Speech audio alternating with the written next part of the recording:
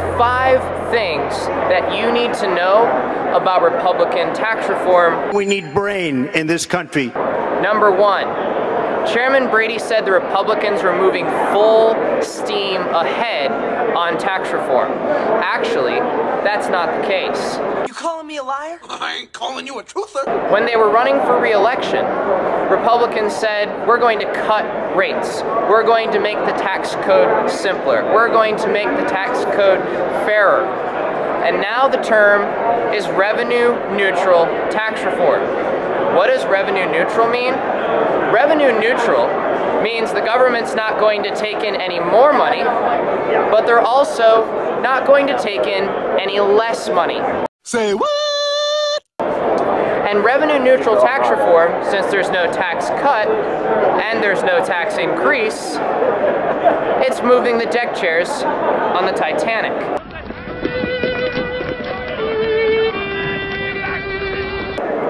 The second thing that Chairman Brady said is it was Obama's fault. That the last eight years of both the economy and the tax code are actually Obama's fault. That's not technically the case. You sit on a throne of lies. Republicans have had control over both houses of the Congress for several years. And Chairman Brady has been chair of the House Ways and Means Committee under President Obama. They haven't put so much as a budget on President Obama's desk, and they really haven't put much tax reform proposals forward for the American people. Number three, Chairman Brady said that this would be the lowest rates in history, that there would be a tax cut across the board. We lower rates across the board so you can keep more of what you earn. In fact, that's also not true. Because the Republicans are pushing what we call a border adjustability tax, or a BAT. What? What a border adjustability tax does is it taxes the products that companies here take in from overseas and sell to you. It means I leave you in anguish, wallowing in freakish misery forever.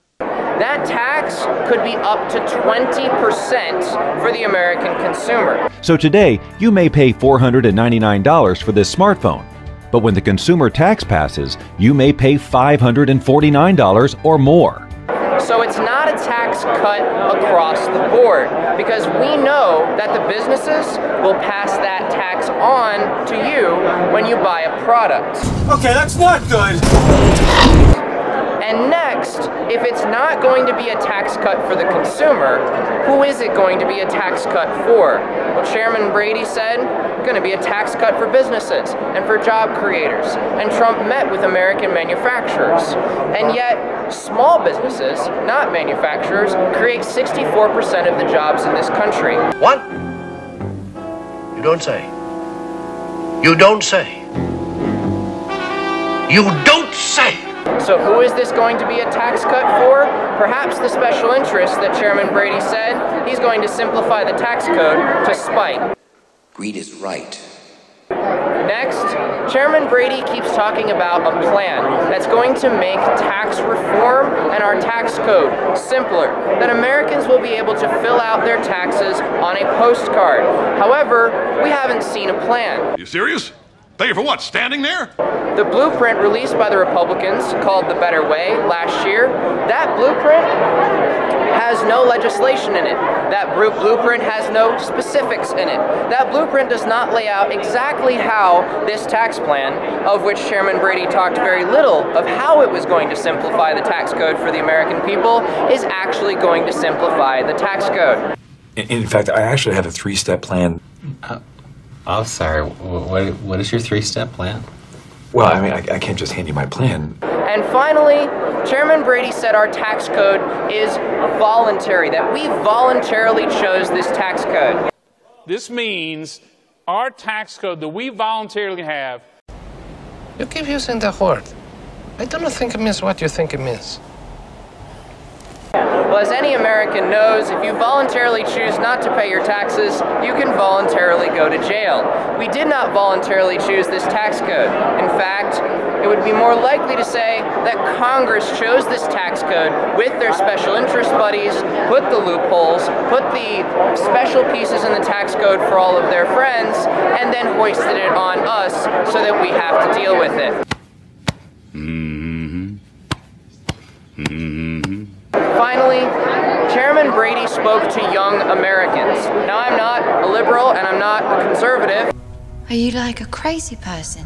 I am an independent. And as a young American independent, I want to know exactly how this tax reform is going to make the tax code simpler, is going to make the tax code fairer, and is going to make the tax code increase prosperity for the very people like me that Chairman Brady said we're going to increase prosperity for.